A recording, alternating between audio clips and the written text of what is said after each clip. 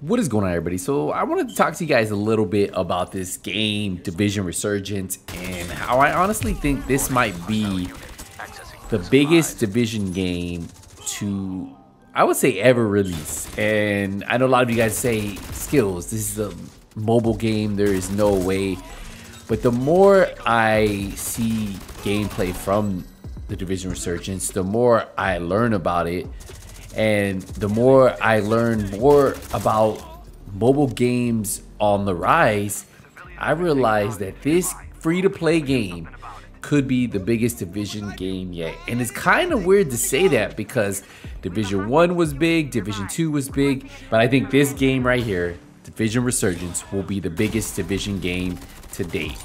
And who knows, maybe Division Heartland will be the next biggest game after that.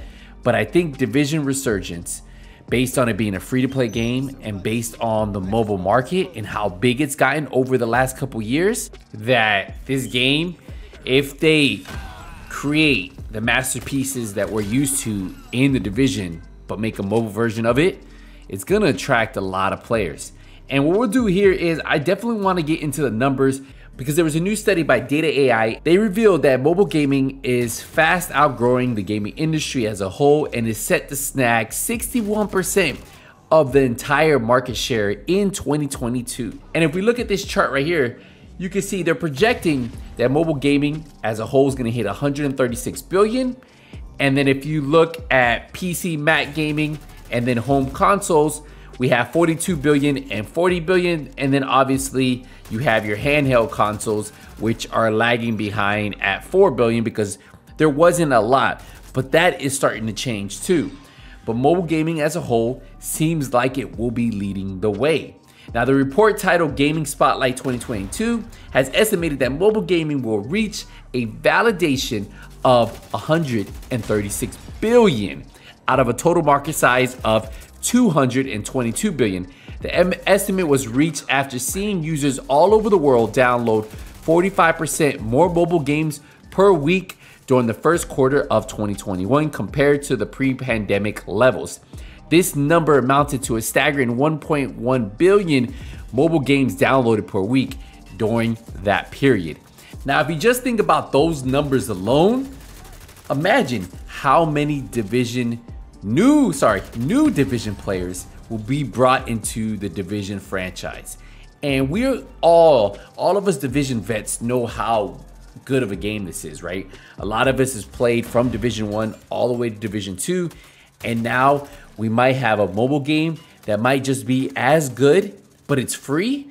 Obviously, there's going to be microtransactions, and that will dictate whether some players wish to play the game or not. But the fact that the game is free to play and the player base of mobile games is so massive, the upside for the division going forward is a win-win, right? No wonder Ubisoft wanted to go into the mobile market and they wanted to bring one of their bigger titles. And if we take a look at this chart right here, you can see we have 2019 in black, in light pink we have 2020, and then in that purplish dark pink we have 2021. And if you look down at the bottom, you can see Japan on the left, France, South Korea, United Kingdom, Germany, and United States. And from 2019 to 2021, the numbers have just continued to increase. And if you notice, the United States has one of the smaller mobile markets right now. So a lot of you guys watching this channel might not agree that this could be a big game, or a lot of you guys are already writing this off. But just look at the worldwide exposure to this game that it will get based on this chart alone. There's a ton of countries who are big into mobile gaming, bringing, like I said, a bigger player base to such a great franchise. And with so much money to be made, no wonder you're seeing companies like Activision and Ubisoft deciding to go the mobile route too. There have been very successful mobile games from Fortnite Mobile to PUBG Mobile to Apex Legend Mobile, and even more recently, Call of Duty Mobile was very successful. And they recently announced that they're gonna bring Warzone to the mobile device. And then Ubisoft recently announced that they're gonna have an Assassin's Creed mobile. Obviously, you guys probably already heard of the Rainbow Six Siege mobile coming. They have the Division Resurgence mobile. So they're going very heavy in the mobile route too.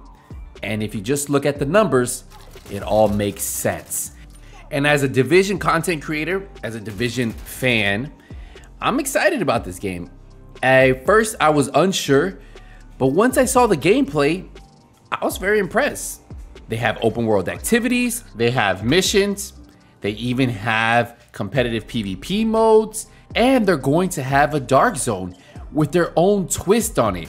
And we'll talk about that in a second. But what really stood out to me is where this game brought me back to.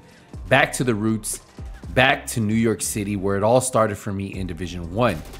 So this environment I'm used to, and I'm excited to go back to New York City. I'm excited to be in the snow, and I'm excited to see what developers have planned for this game. And I'm not a mobile first gamer either. I enjoy playing my games on a monitor or on a big TV.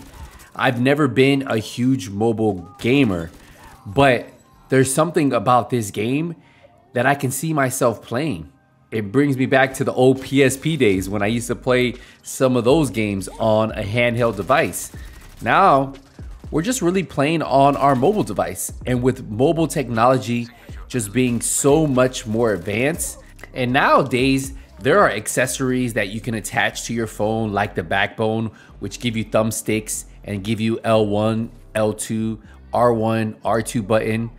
And even most mobile games provide controlled support, which the developers have said Division Resurgence will have controller support, which is amazing because not everybody wants to keep touching their screen. But if you have the buttons on the side, like a device like the backbone, or if they have controller support, it makes it that much easier. Now, I wasn't sure how big this game was going to be, but from all the gameplay we've got to see, this game is going to be a full size division game. We even have our own base of operation, which you're actually seeing here. They get to show us little clips of the specialization quartermaster where we get to see new specializations that we didn't have in Division 2. And I'm excited for this. And you get to see a skill tree for those specializations. And so far, we know there's four different specializations. So, learning more about what's going to be different in each specialization tree, along with their new weapon progression system that we've never seen before in a division game.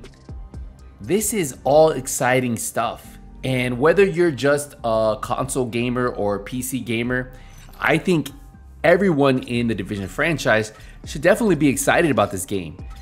And I know a lot of you guys are definitely a little bit scared, a little bit worried on how the microtransactions are going to take place in this game. And we just don't know.